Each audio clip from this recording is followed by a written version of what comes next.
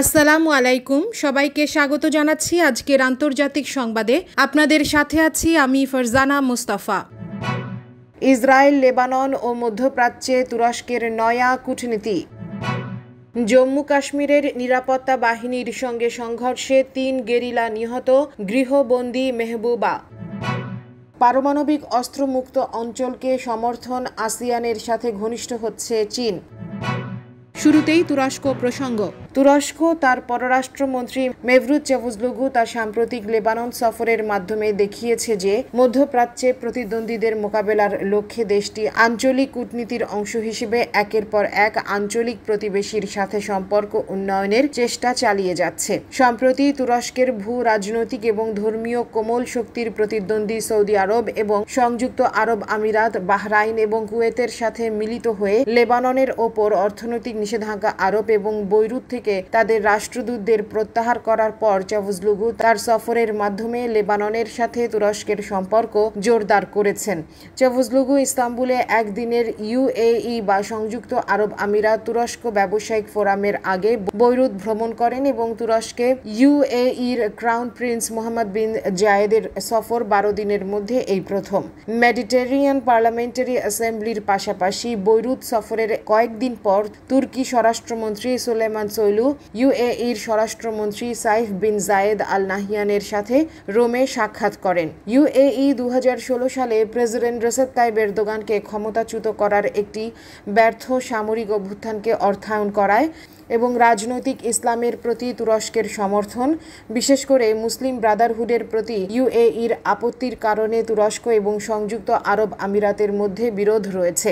তুরস্ক এবং UAE Libya, Syria এবং পূর্ব ভূমধ্য সাগরে পরোক্ষভাবে পরস্পরের বিরুদ্ধে সামরিক এবং রাজনৈতিক যুদ্ধ করেছে। অধিকন্তু ইউএই সৌদি নেতৃত্বে কাতারের ওপর সাড়ে তিন বছর ব্যাপী কূটনৈতিক ও অর্থনৈতিক নিষেধাজ্ঞার চলাকালীন তুরস্ক কাতারকে সমর্থন করেছে এবং উপসাগরীয় দেশটিতে তার সামরিক উপস্থিতির প্রয়াস ঘটিয়েছে।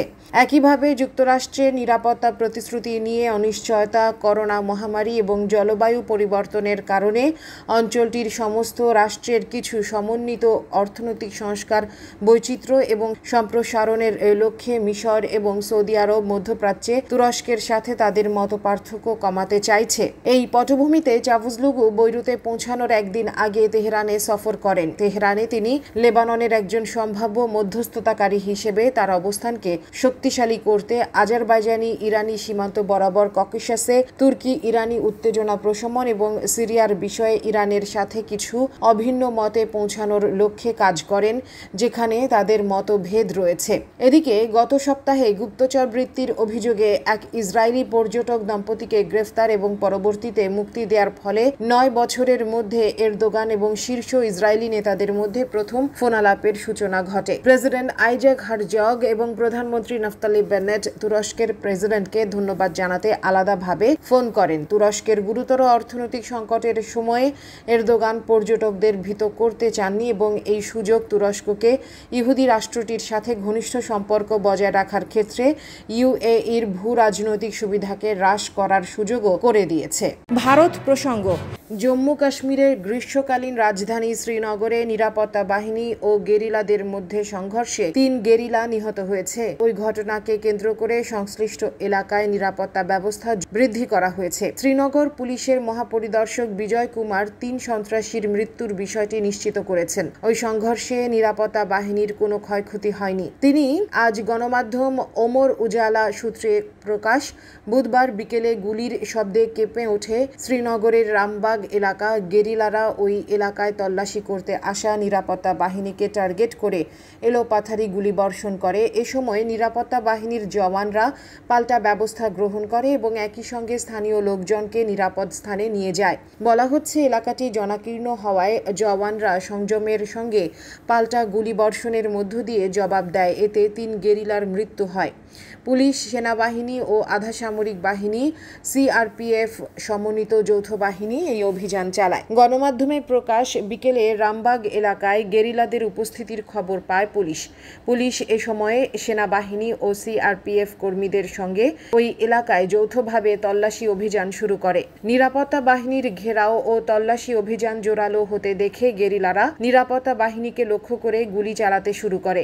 মুহূর্তের মধ্যেই উভয় পক্ষের মধ্যে তীব্র সংঘর্ষ শুরু হয়। সংঘর্ষের দিকে সাধারণ মানুষের চলাচল বন্ধ করে গেরিলাদের বিরুদ্ধে অভিযান জোরদার করা হয়। সন্ধ্যায় যখন গেরিলাদের দিক থেকে দীর্ঘক্ষণ কোনো গুলিবর্ষণ না হয়, তখন নিরাপত্তা বাহিনী ওই স্থানে তল্লাশি চালায়।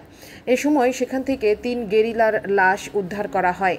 এদিকে মঙ্গলবার পিডিপি প্রধান ও সাবেক মুখ্যমন্ত্রী মেহবুবা মুফতিকে বাড়ি থেকে বের করে দেয়নি পুলিশ। তিনি সম্প্রতি হায়দারপোড়া এনকাউন্টারে নিহত আলতাফের স্বজনদের সাথে দেখা করতে যাচ্ছিলেন। পিডিপির অভিযোগ, দলীয় সভাপতি মেহবুবা মুফতিকে ক্ষতিগ্রস্তদের সঙ্গে দেখা করতে দেয়া হচ্ছে না। পুলিশ তাকে গৃহবন্দী করে রেখেছে।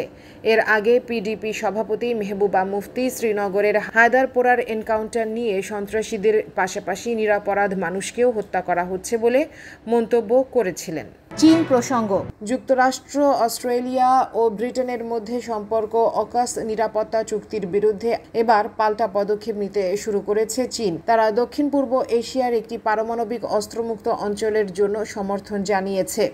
অকাসের বিরুদ্ধে আঞ্চলিক জোটকে শক্তিশালী করতেই চীন এই পদক্ষেপ নিয়েছে বলে মনে করছেন বিশেষজ্ঞরা। প্রেসিডেন্ট শি জিনপিং আসিয়ানের নেতৃবৃন্দকে বলেছেন যে চীন পারমাণবিক অস্ত্রমুক্ত অঞ্চল গড়ে তোলার প্রচেষ্টাকে সমর্থন করেছে এবং যত তাড়াতাড়ি সম্ভব চুক্তিতে প্রোটোকল স্বাক্ষর করতে ইচ্ছুক। তিনি আসিয়ানের সাথে নিরাপত্তা, সহযোগিতা এবং অন্যান্য তহবিল আরও বৃদ্ধি করারও প্রতিশ্রুতি দেন।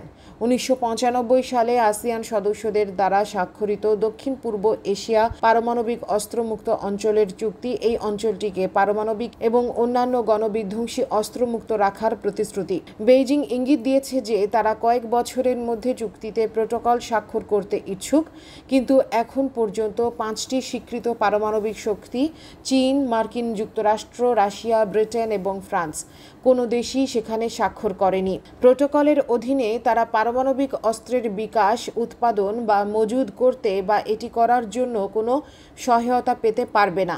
গুয়াংজুতে জিনান ইউনিভার্সিটির ফিলিপাইন স্টাডিজের সেন্টারের পরিচালক জাই ফ্যানের মতে, এই অঞ্চলে বিশেষ করে দক্ষিণ চীন সাগর এবং তাইওয়ান প্রণালীতে বেইজিং এবং ওয়াশিংটনের মধ্যে উত্তেজনা বৃদ্ধির সাথে আসিয়ান সদস্যরা প্রোটোকল স্বাক্ষর করতে চায়। তিনি বলেন, চীন মার্কিন শত্রুতা বাড়ার সাথে সাথে মার্কিন যুক্তরাষ্ট্র তার নিরাপত্তা জোটগুলোকে শক্তিশালী করছে, যার মধ্যে একটি হচ্ছে অকাশ, যা আঞ্চলিক শান্তি ও স্থিতিশীলতার জন্য হুমকি স্বরূপ তিনি উল্লেখ করেছেন যে, ইন্দোনেশিয়া এবং মালয়েশিয়া উভয়ই চুক্তির অধীনে অস্ট্রেলিয়ার পারমাণবিক চালিত সাবমেরিন অধিগ্রহণের বিরুদ্ধে দৃঢ়ভাবে বেরিয়ে এসেছে এবং তাদের অবস্থান চীনের অবস্থানের সাথে সামঞ্জস্যপূর্ণ।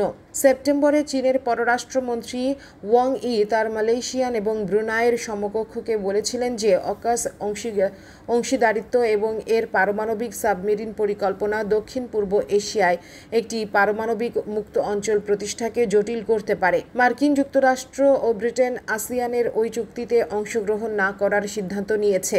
পরিবর্তে তারা বিভিন্ন অজুহাতে এই অঞ্চলে সামরিক পারমাণবিক প্রযুক্তি স্থানান্তর করেছে এবং এই অঞ্চলটিকে উচ্চ সমৃদ্ধ ইউরেনিয়াম সামগ্রী সরবরাহ করেছে, যা আসিয়ান দেশগুলোর একটি পারমাণবিক মুক্ত অঞ্চল গড়ে তোলার প্রচেষ্টার বিপরীতে চলছে। ওয়াং বৈঠকে বলেছিলেন। আসিয়ান সদস্যরা চুক্তির বিষয়ে পারমাণবিক অস্ত্রধারী রাষ্ট্রগুলোর সাথে আলোচনা অব্যাহত রেখেছে এবং সমস্যাগুলো সমাধান করতে চাইছে। চীনের ফোকাস আঞ্চলিক সম্পর্কের দিকে সরে গেছে এবং মার্কিন যুক্তরাষ্ট্রের সাথে বৈরিতার কারণে এটি অন্যান্য পারমাণবিক শক্তির সাথে সংহতি সম্পর্কে কম উদ্বিগ্ন। তিনি প্রযুক্তিগত দৃষ্টিকোণ থেকে প্রোটোকলের বিষয়ে চীনের কোনো সারগর্ভ পরামর্শ নেই। কিন্তু মার্কিন যুক্তরাষ্ট্র সহ অন্যান্য পারমাণবিক অস্ত্রধারী রাষ্ট্রগুলোর এখনও উদ্বেগ রয়েছে এবং তারা মনে করে যে এই প্রোটোকল তাদের পারমাণবিক অস্ত্র প্ল্যাটফর্মের স্থাপনাকে সীমাবদ্ধ করবে। তিনি আরও বলেন, চীনের জন্য এই প্রোটোকলের প্রতি সমর্থন দেখানো আসিয়ানের সাথে ঘনিষ্ঠ সম্পর্ক গড়ে তোলার একটি উপায়। ডিয়ার ভিউয়ার্স আমাদের চ্যানেলের নিউজটি যদি আপনাদের ভালো লেগে থাকে, তবে আমাদের চ্যানেলকে সাবস্ক্রাইব করুন এবং আপনাদের বন্ধুদেরকেও সাবস্ক্রাইব করতে উৎসাহী করুন। নতুন নতুন নিউজ জানার জন্য আমাদের চ্যানেলের সাথেই থাকুন। ধন্যবাদ।